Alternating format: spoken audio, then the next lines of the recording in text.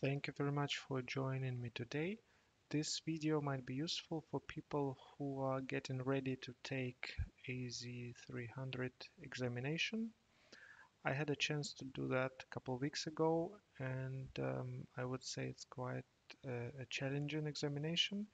You have to prepare thoroughly and I would like to give you a couple of pointers and resources on how to prepare for this examination. Uh, one thing that I want to point out is the importance of doing labs. And this resource, the labs on GitHub, if you search on GitHub for AZ300, uh, there are some great labs to start with. And uh, you can probably do all of them. Um, so that would be a good starting point. Um, then one more thing that I would definitely recommend you checking out is a site uh, LinkedIn Learning. At this site, if you just want to prepare for this exam, you can get a trial for uh, one month. It's a free trial and you can take some great courses.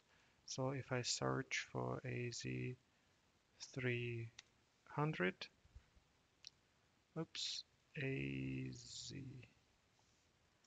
300 then there are some uh, courses you can check definitely.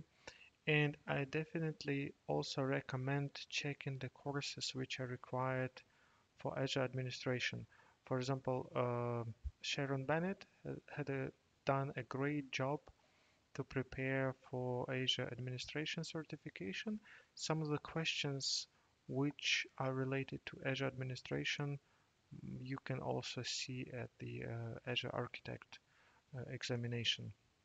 So I definitely recommend you checking out a couple of courses here. And um, yeah, that would be a great start. Another really, really good resource that I can recommend, it's a, Pluralsight. Um, if you're not familiar with this, it's a really great resource for technical courses. And here you can also search for specific learning path. It's AZ300 and there is plenty of learning content here. You see here, for example, it's 68 hours of preparation. I'm sure if you do um, some of them it will definitely help you out. Um, I would focus I definitely recommend focusing on the core services like networking. So something to do with virtual networking routing uh, it would be a great thing to review. And um, uh, then uh, resources subscriptions things like that. So for example in Azure um, in linked learning, this is a great course, Azure Administration Managed Subscriptions and Resources. You can get some really, really good tips and pointers. And um, yeah, just, just go for it. And of course, last but not least, it's the brain dumps. So for people, um, you know, there, there are some practice tests. You can get some brain dumps. You can download them for free. Uh, for example, uh, this site gives you some PDF sites. I've done all of these brain dumps. I did not buy premium brain dump here, just uh, normal ones. And about 30% of the questions from the brain dumps, you can see very, very similar questions at the actual Microsoft uh, exam. Uh, of course, make sure you, you check the answers because some of them are uh, incorrect and um, you know it's it's always good to do a little bit of hands-on uh, stuff.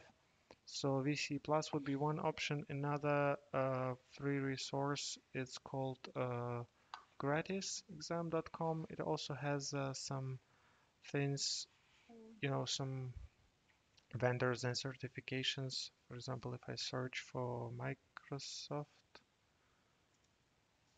um, I can definitely find some resources here.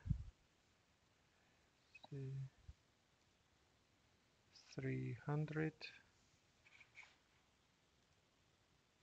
so if we check AZ 300 there are some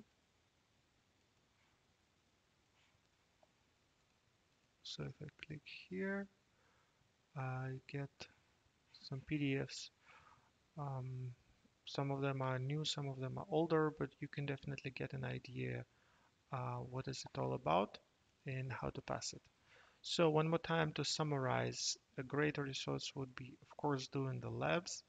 You can start with github and um, maybe check a couple of other uh, things. There are also official labs on the microsoft site um, but github would be a good start.